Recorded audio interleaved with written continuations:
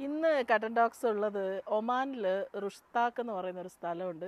ഈ റുഷ്താക്ക് എന്ന് പറയുന്ന സ്ഥലം ആക്ച്വലി ഭയങ്കര പ്രാധാന്യമുള്ള സ്ഥലമാണ്. കാരണം ഇപ്പം ഒമാന്റെ ക്യാപിറ്റൽ മസ്കറ്റ് ആണെങ്കിലും നേരത്തെ ഏതാണ്ട് സെവന്റീൻ സെഞ്ച്വറിയിലൊക്കെ ഒമാന്റെ ക്യാപിറ്റൽ ഇത് റുഷ്താക്കായിരുന്നു. ഞങ്ങൾ ഇന്നിവിടെ വന്നാണ്. ഒരു ഒരു നമ്മുടെ നാട്ടിലൊക്കെ കാണുന്ന ഒരു വില്ലേജ് പോലെയുള്ള സ്ഥലമാണ്. ഈ ബാക്കിൽ കാണ അവിടെ മൗണ്ടെയ്ൻസ് കാണുന്നുണ്ടെന്ന് വിശ്വസിക്കുന്നു.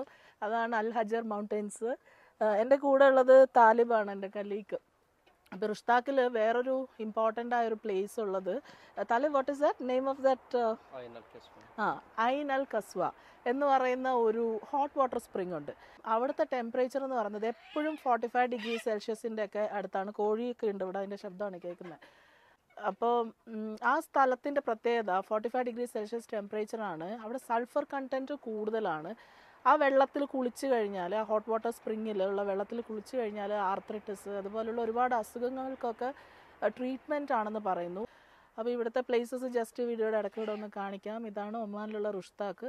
ഇന്ന് ഇവിടെ ഉള്ളത് കൊണ്ട് ജസ്റ്റ് നിങ്ങൾ എല്ലാവരുമായിട്ട് ഈ ഒരു സ്ഥലവും ഈ എക്സ്പീരിയൻസും ഒക്കെ ഷെയർ ചെയ്യാമെന്ന് വിചാരിക്കുന്നു. പിന്നെ ഇവിടെ പറയാനുള്ളത് ഒമാനിലെ ആളുകളുടെ ഒരു ഹോസ്പിറ്റാലിറ്റിയാണ് താലിബിന് എനിക്ക് ഏതാണ്ട് eighteen years no how many years I know you eighteen year two thousand six six yeah two thousand six മുതൽ അറിയാവുന്നതാണ്. അങ്ങനെ ഒരുപാട് നല്ലൊരു പ്ലേസ് ആണ് ഒമാൻ. അപ്പോൾ വീണ്ടും മറ്റൊരു വിഷയമായിട്ട് കട്ടൻ ടോക്സിക് കാണാം. ലെറ്റ്സ് കട്ടൻ